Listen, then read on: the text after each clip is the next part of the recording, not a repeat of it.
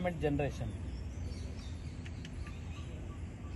ಅದು ಮೊದಲನೆಯ ಒಂದು ಕಾರ್ಯಕ್ರಮದ ಅಡಿಯಲ್ಲಿ ಪ್ರಧಾನಮಂತ್ರಿಗಳ ಕನಸೇನಿದೆ.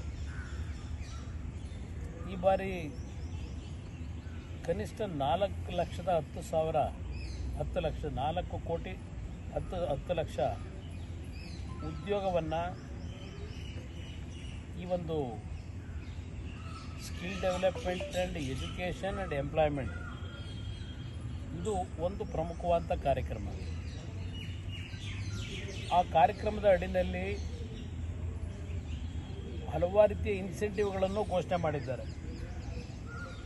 ಅದೆಲ್ಲವನ್ನು ನಾನು ಬಿಡಿಸಿ ಹೇಳಬೇಕಾಗಿಲ್ಲ ಬಹುಶಃ ನಿಮ್ಮ ಹತ್ರದ ಮಾಹಿತಿಗಳು ಇದೆ. ಮತ್ತು ಈ- ಈ ಬಾರಿ ವಿಶೇಷವಾದಂಥ ರೀತಿಯಲ್ಲಿ ಎಂ ಎಸ್ ಎಂ ಎಗಳಿಗೆ ದೊಡ್ಡ ಮಟ್ಟದ ಆರ್ಥಿಕ ಶಕ್ತಿಯನ್ನು ತುಂಬತಕ್ಕಂಥ ಒಂದು ನಿರ್ಧಾರ ನರೇಂದ್ರ ಮೋದಿಯವರ ಕಲ್ಪನೆನೇ ಇದು ಸಹ ಅಂತಕ್ಕಂಥದ್ದು ನನ್ನ ಅಭಿಪ್ರಾಯ. ಕಾರಣ, ಇವತ್ತಿನ ಯಾವೊಂದು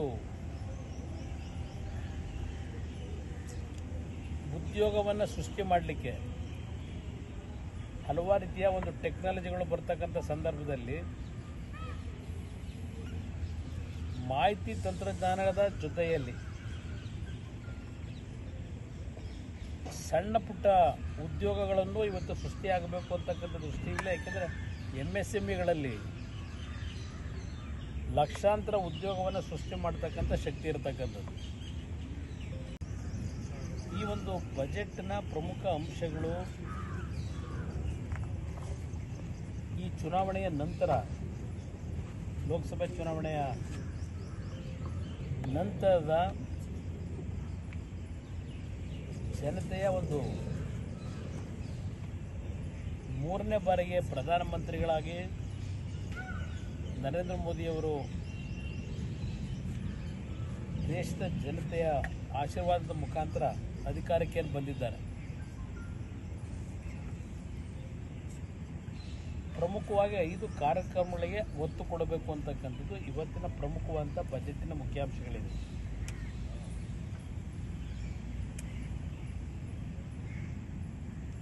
ಒಂದು ನಿರುದ್ಯೋಗದ ಸಮಸ್ಯೆಗಳ ಬಗ್ಗೆ ಚರ್ಚೆ ನಡೀತಾ ಇದೆ. ಆ ನಿರುದ್ಯೋಗವನ್ನು ನಿವಾರಣೆ ಮಾಡ್ತಕ್ಕಂಥ ನಿಟ್ಟಿನಲ್ಲಿ ಶಿಕ್ಷಣಕ್ಕೆ ಮತ್ತು ಸ್ಕಿಲ್ ಡೆವಲಪ್ಮೆಂಟ್ಗೆ, ಕೌಶಲ್ಯದ ತರಬೇತಿಗೆ ಹೆಚ್ಚಿನ ಆದ್ಯತೆಯನ್ನು ಕೊಡ್ತಕ್ಕಂಥ ಒಂದು ಕಾರ್ಯಕ್ರಮ ಅದೇ ಐದು ಪ್ರಮುಖ ಅಂಶಗಳನ್ನು ಒಳಗೊಂಡಿರ್ತಕ್ಕಂಥ ಪ್ರಮುಖವಾದಂಥ ವಿಷಯಗಳಿದ್ದಾವೆ. ಪ್ರಧಾನಮಂತ್ರಿಗಳ ಚಿಂತನೆ ವಿಕಸಿತ ಭಾರತ ಅಂತಕ್ಕಂಥದ್ದು ಒಂದು ಭಾಗ. ಅದರ ಜೊತೆಗೆ ಎರಡು ಸಾವಿರದ ನಲವತ್ತೇಳಕ್ಕೆ ನೂರು ವರ್ಷಗಳನ್ನು ಸ್ವಾತಂತ್ರ್ಯ ಬಂದ ನಂತರದ ಪ್ರಜಾಪ್ರಭುತ್ವದ ವ್ಯವಸ್ಥೆಯಲ್ಲಿ ಅಮೃತ ಕಾಲವನ್ನು ನಾವು ಈ ದೇಶದ ಜನತೆಗೆ ನೀಡಬೇಕು ಅಂತಕ್ಕಂಥ ಮತ್ತೊಂದು ಅವರ ಒಂದು ದೂರದೃಷ್ಟಿಯ ಭಾವನೆಗಳನ್ನು ಏನು ಇಟ್ಕೊಂಡಿದ್ದಾರೆ ಅದರ ಹಿನ್ನೆಲೆಯಲ್ಲಿ ಕಳೆದ ಹತ್ತು ವರ್ಷಗಳ ಅವರ ಆಡಳಿತದಲ್ಲಿ ಪ್ರಧಾನಮಂತ್ರಿಗಳ ನೇತೃತ್ವ ಆಡಳಿತದಲ್ಲಿ